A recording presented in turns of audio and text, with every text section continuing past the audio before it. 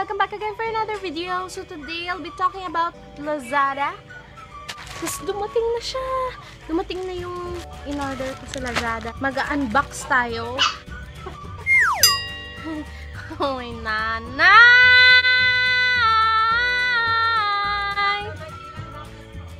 Sabi niya, sana nag-vlog daw kanina nung nagluto ako ng spaghetti. But my creamy spaghetti is super yummy.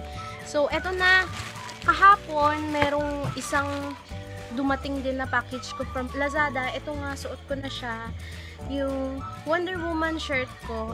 It's super nice. And so far, wala naman akong bad impression dun sa Lazada. First, nag-order kasi ako ng Fibrella umbrella kasi maulan ngayon. Let's open. Let's see kung maganda.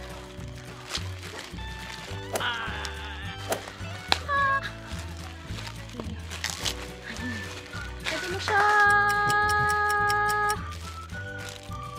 Siguro nabalik ko worth 300 something to. At saka ito, 299. Ito din yata yung dati kong umbrella na nawala. So, let's open guys. Ito yung first. See? Maganda naman siya, pero ibibigay ko to sa nanay ko. Nay! Iyon na lang tong umbrella ko. Kasi yung akin, yung binili ko is yung fibrella na light lang siya. Hindi to UV. So, ito siya.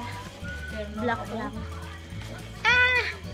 Best to kasi mabagyo. Yung another package is t-shirt siya. Ah! 295 pesos only. Pero nung chinek ko sa Lazada, naging 195 na lang. Grabe, luging-lugi ako ng 100 ah. Sana pala hinintay ko na lang na mag-sales plan.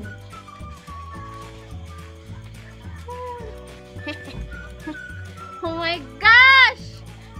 Hindi cash! Mama, choose happy. That's my nanay.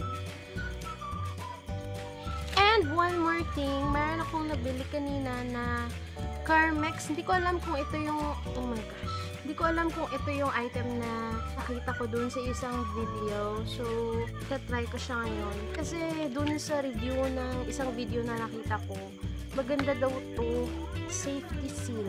Strawberry flavor and ang sabi dito, long-lasting relief for dry chopped lips. Hindi ito feel maganda din naman pala siya. Wow, sweet. Puti-puti ako. So, thank you guys so much for watching. I hope you guys enjoyed this video. If you did, don't forget to give this video a huge thumbs up and subscribe to my channel for weekly vlogs. So, see you guys in my next vlog. Bye, guys!